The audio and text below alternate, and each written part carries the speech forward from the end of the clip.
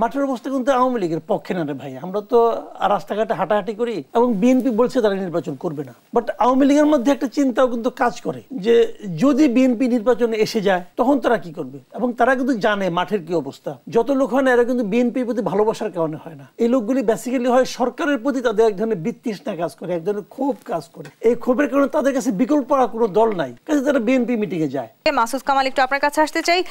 আওয়ামী লীগ খোদ উস্কানি দিচ্ছে বিএনপি। এমন অভিযোগ করছে, আবার বিএনপির প্রায় তিন শতাধিক নেতাকর্মীকে গ্রেপ্তার করা হয়েছে। এমনটাও দেখা যাচ্ছে কিংবা আসলে বিএনপি সেই অভিযোগও করছে। তাহলে আসলে কি হতে যাচ্ছে আঠাশ অক্টোবর? দেখেন, এই উস্কানি তো এটা তো রাজনৈতিক বক্তব্য। ওরা মাঠ গরম করার জন্য বলছে, কর্মীদেরকে মানে উদ্দীপ্ত রাখার জন্য বলছে। এটা তো বলছেই বি- আওয়ামী লীগের যে মানে পরিকল্পনাটা আসলে সত্যি কথা বলতে গেলে নির্বাচন তারা যেভাবে তাদের মতো তারা করতে চায় এবং বিএনপি বলছে তারা নির্বাচন করবে না। বাট আওয়ামী লীগের মধ্যে একটা চিন্তাও কিন্তু কাজ করে যে যদি বিএনপি নির্বাচনে এসে যায়, তখন তারা কি করবে? এবং তারা কিন্তু জানে মাঠের কি অবস্থা। মাঠের অবস্থা কিন্তু আওয়ামী লীগের পক্ষে না রে ভাই। আমরা তো রাস্তাঘাটে হাঁটাহাঁটি করি। মানুষ, সাধারণ মানুষের মধ্যে যে কথাটা নাকি বলা হচ্ছে যে, আমি কিন্তু সায়ন্ত ভাষাকে একটা জায়গায় কিন্তু দ্বিমত পোষণ করি। উনি বললেন না, যা বিএনপি এখন অনেক শক্তিশালী দল হয়ে গেছে মিটিং অনেক লোক হয়। যত লোক হয় না, এরা কিন্তু বিএনপির প্রতি ভালোবাসার কারণে হয় না। এই লোকগুলি বেসিক্যালি হয় সরকারের প্রতি তাদের এক ধরনের বিতৃষ্ণা কাজ করে, এক ধরনের ক্ষোভ কাজ করে।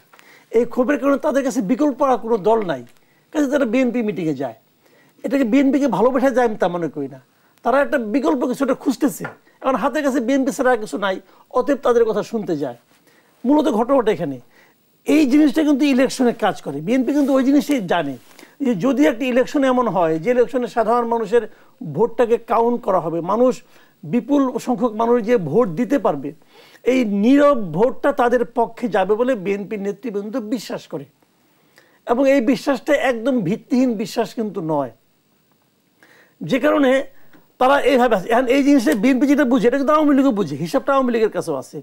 আওয়ামী লীগের মধ্যে ভয়টা কাজ করে যে বাই চান্স হয়তো বিএনপি বলছে ইলেকশনে যাবে না, আমিও মনে করি যাবে না। এই ফর্মেটে বিএনপি ইলেকশনে যাবে না। যদি বিএনপি চলে যায় এবং তখন যদি মানুষ এসে ভোট দিতে শুরু করে হয়তো তারা ভয় দেখাবে কিন্তু যদি শুরু করে তখন কি হবে?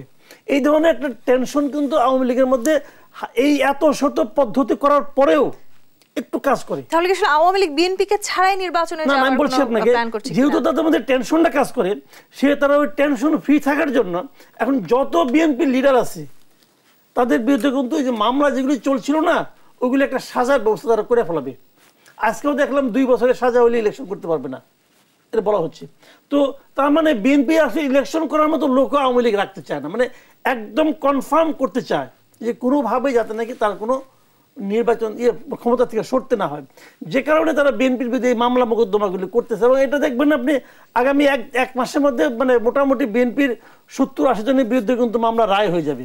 এবং অবধারিতভাবে সবার মানে এটা বলা ঠিক না যেহেতু আইনগত ব্যাপার তারপরে আমার আশঙ্কা, অবধারিতভাবে সবারই দুই বছরের বেশি করেই সাজা হবে।